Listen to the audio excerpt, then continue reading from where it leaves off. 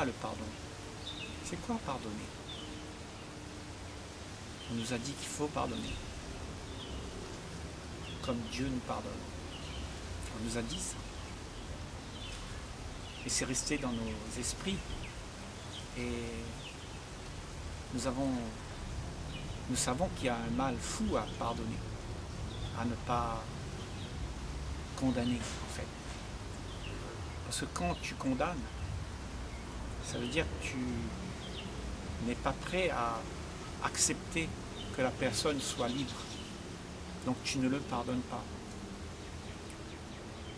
Mais pardonner, ça veut tout simplement dire que tu as besoin toi-même du répit de celui qui ne pardonne pas. Parce que quand tu ne pardonnes pas, quand tu n'es pas dans ton être juste, quand tu es dans l'injustice, quand tu es en train de vouloir contrôler les choses, eh bien, pardonner, c'est difficile.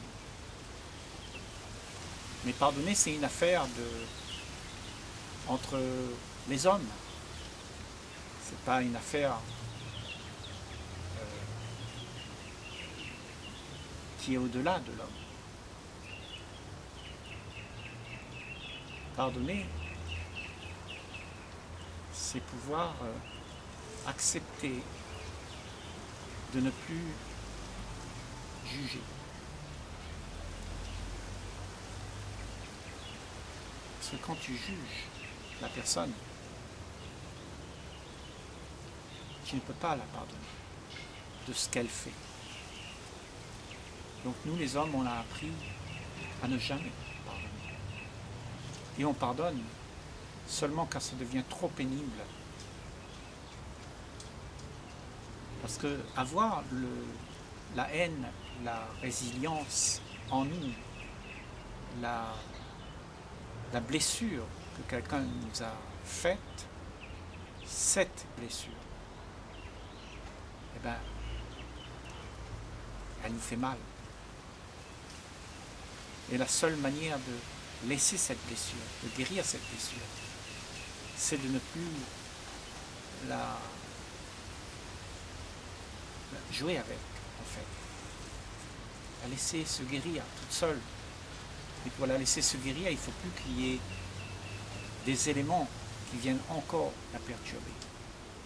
Et les éléments, c'est justement, c'est toutes les histoires qu'on se raconte sur euh, la blessure, sur tout ce qui s'est passé et comment on en est arrivé là on n'arrive pas à, laisser l'autre tranquille. Donc tu es un juge. Tu voudrais juger quand tu ne pardonnes pas, quand tu ne laisses pas les gens tranquilles. Et si tu ne pardonnes pas, et si tu n'agis pas comme ça, si tu n'as pas de, de condamnation, de comparaison, si tu laisses la personne en face de toi être ce qu'elle est, ben peut-être que tu n'as pas besoin non plus que quelqu'un te demande le pardon. Tu n'as rien à pardonner. Le pardon, c'est pour celui qui ne pardonne pas. Donc si tu ne condamnes personne, si tu ne juges personne, si tu l'acceptes juste tel qu'il est, alors le mot pardon n'a aucun sens.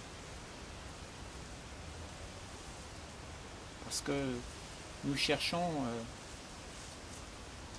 le regard de l'autre.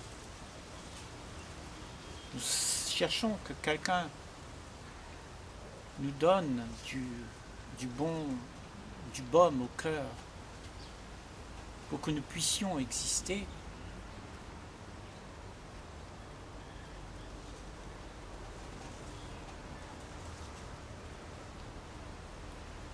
Le pardon ne viendra pas de celui qui ne sait pas cesser de critiquer et de juger. Est-ce que tu peux vivre sans attends, sans faire aucune critique, est-ce que tu peux vivre sans jamais critiquer personne? Tu peux faire ça? De critiquer personne. Sans jamais en vouloir à personne. Ne pas faire en sorte que ce que la personne te dit te blesse. Accepter que ce qu'elle te dit, c'est son problème. C'est ce qu'elle pense. Et à ce moment, quand tu sais que ce que les gens pensent, ça leur appartient, alors rien de ce qui est pensé dans ce monde ne peut te perturber toi, puisque tu es dans la paix. Et donc, si tu es comme ça, ben, tu n'as pas besoin de pardonner personne non plus, puisque tu ne fais aucun mal. Pardonner, c'est quand, c'est quand on a fait quelque chose qui a blessé quelqu'un. Et que la personne réclame que tu t'agenouilles devant lui pour lui dire pardon. Mais je pense que là, il y a un ego très fort qui demande à l'autre de se soumettre à ta volonté, de pouvoir jouir de la vie.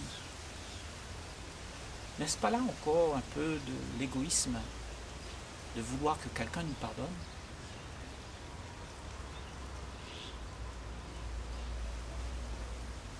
Mais toi, si tu ne veux rien, tu n'attends rien, mais toi, tu n'auras pas de problème avec personne à qui tu dois demander pardon, qui doivent te demander pardon. Ils ont tout le droit de faire ce qu'ils veulent. À toi de ne pas juger, d'observer ce qu'ils sont, d'accepter qu'ils sont comme ça, qu'ils ne sont pas autrement, qui ne sont pas comme tu veux, mais d'accepter. Et cette acceptation, justement, eh bien, fait que cette personne, elle est enclin à prendre sa responsabilité. Parce que il n'y a personne qui va la juger. Elle a le droit de le faire. Et parce qu'elle ne rencontrera pas de diabolisation devant son acte, que peut-être elle aura le temps de réfléchir, elle aura le temps de s'apercevoir de toutes les conséquences. Parce que l'acte qui est néfaste est toujours fait dans la compulsion. Et la compulsion est reniée.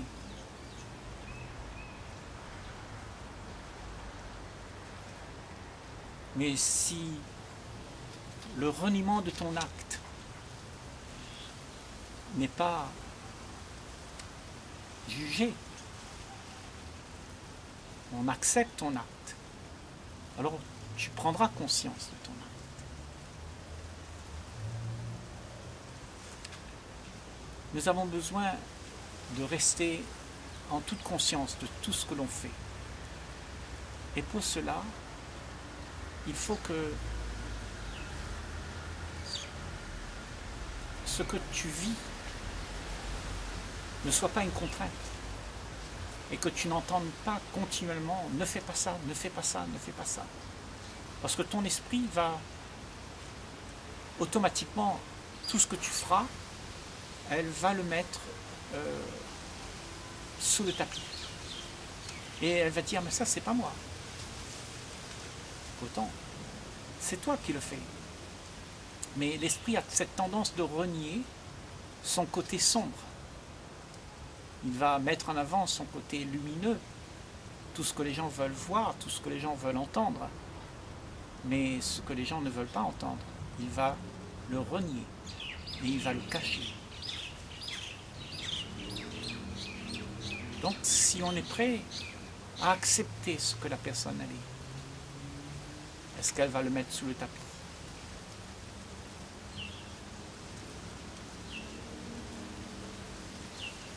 Est-ce qu'on incitera cette personne d'aller mettre sous le tapis ce qu'il est, ce qu'il vit? Non, on sera terriblement sincères les uns envers les autres. Le problème dans ce monde, c'est que quand on te brime, on te dit que tu n'es pas à la norme. Alors tout ce que tu as de plus sincère en toi devient un danger pour ce monde. Et toi, tu réalises que ce que tu es vraiment ne peut pas convenir à ce monde qui te demande de te mouler dans un certain état d'esprit. Et cet état d'esprit, c'est la réussite. Réussir, réussir, gagner plus encore.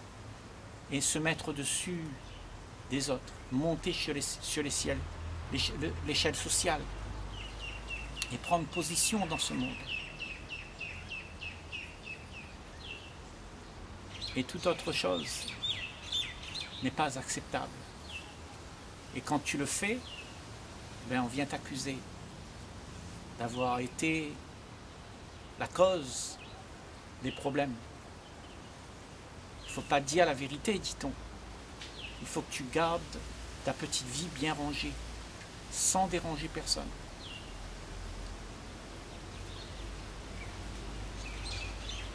Et c'est ça qu'on prône dans ce monde. Tout le monde doit se taire.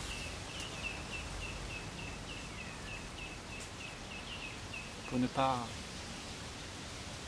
débusquer les mensonges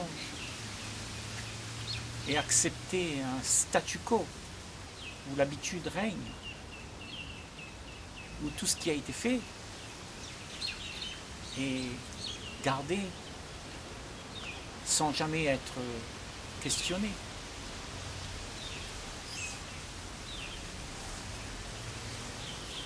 Et tu vois, quand tu questionnes les choses, eh bien tu deviens beaucoup plus fort.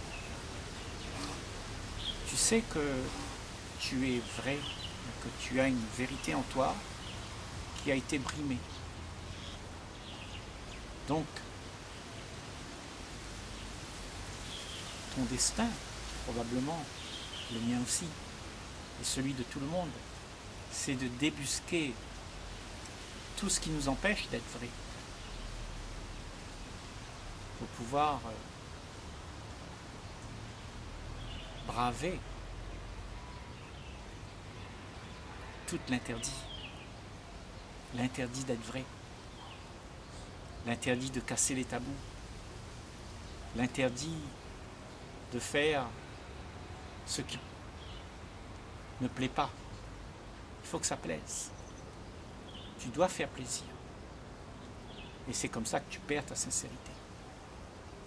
Parce que tu dois faire non pas ce que tu veux, non pas ce que tu aimes, mais ce que les autres aiment. À ce moment-là, nous vivons dans un monde où les gens se demandent pardon les uns les autres pour pouvoir continuer à faire leur, leur truc, leurs abominations et espérer encore d'être pardonnés. Donc on pardonne et ça ne cesse jamais. C'est un truc qui se réitère tout le temps.